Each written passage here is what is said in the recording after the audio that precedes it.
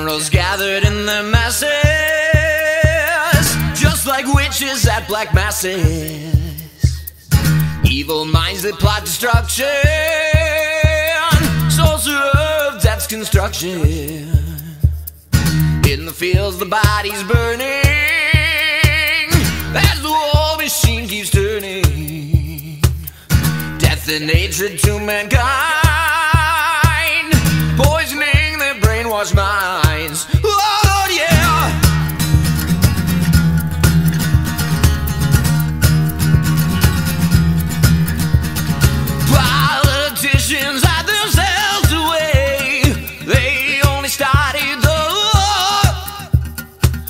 Why should they go